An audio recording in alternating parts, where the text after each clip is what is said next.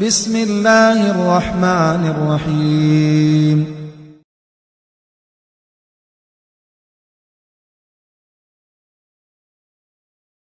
الإمام الحسن البصري رحمه الله جاءه رجل يشتكي الفاقة يعني الفقر فقال استغفر الله.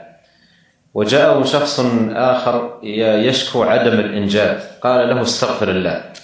وجاءه ثالث يشكو جفاف بستانه فقال له استغفر الله.